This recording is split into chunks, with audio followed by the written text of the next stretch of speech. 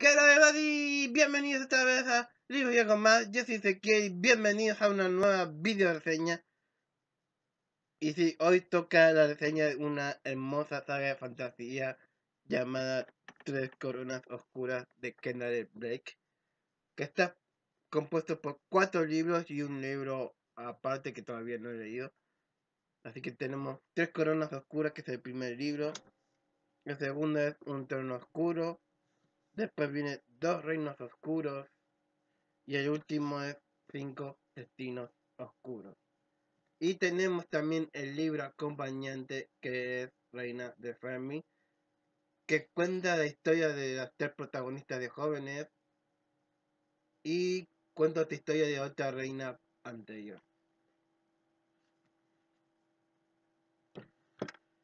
A ver, pero de qué va esta saga, quién sabe, pues yo le voy a leer un poco eh, la sinopsis del primer libro que básicamente resume toda la trama. En cada generación de la isla de Fermin nacen trillizas, y las son reinas, herederas en partes iguales de la corona, cada una poseedora de una magia codiciada. Mirabel, bueno, acabamos con los protagonistas actuales. Mirabella es una elemental feroz capaz de entender llamaradas voraces o tormentas brutales con un chasquido de los dedos. O sea, hay una reina que va a tener los poderes del evento. Catherine es una envenenadora, alguien que puede ingerir los venenos más mortales sin nada más que un dolor de panza. O sea que no le afectan los venenos, es experta en venenos y no le afectan los venenos. Esas son los envenenadores. Así no, es una naturaleza que se dice que tiene habilidad de hacer florecer la rosa más roja y controlar más salvajes de los animales. O sea, tienen control sobre la naturaleza de las plantas y también sobre los animales.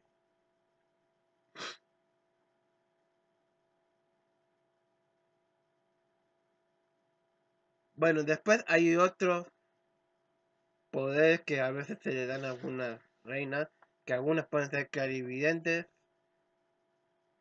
y creo que otras pueden ser justicieras y guerreras, pero bueno. O sanadoras creo también, no sé. Pero bueno, el tema es que tienen que leer para saber más. pero para convertirse en reina coronada no es únicamente cuestión de nacimiento real. Cada hermana tiene que pelear por ello, y no es solamente un juego que se gana o pierde es de vida o muerte. La misma noche que las hermanas cumplen 16 años comienza la batalla. Básicamente cuando las tres reinas cumplen 16 años empiezan los juegos del hambre, si se quiere. Y solo una reina podrá sobrevivir, que va a ser la que va a gobernar. Hasta que aparezca un nuevo grupo de trillizas, obviamente. Así que la idea está original y bueno, yo solo voy a decir que evidentemente al final de la saga queda una reina con vida. No voy a decir cuál porque la tienen que, leer y sería spoiler, pero como ven, la trama misma te están diciendo que solo una reina va a quedar con vida. La última reina en pie se queda con la corona. Aquí lo dice. Así que... Pero la verdad es que la saga da sus altos y bajos y por momentos avanza muy lenta la trama, pero en general es muy buena saga, muy buena historia de fantasía.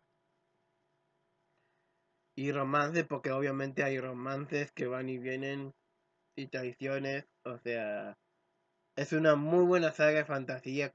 Yo supongo que si uno quiere empezar con la fantasía, pienso que es una muy buena saga para empezar con el mundo de la fantasía. No es de las mejores, pero es una buena saga para empezar a meterse en el mundo de la fantasía. Porque sí, hay, algunos toques mágicos, pero tampoco es... a mí yo pienso que otra cosa que le faltó fue algo más de magia, algo más de fantasía. Hay algo, pero no para mí no es suficiente. Y quizás por eso para mí esta siempre fue una saga de cuatro estrellas. No, no tiene lo necesario para hacer cinco estrellas.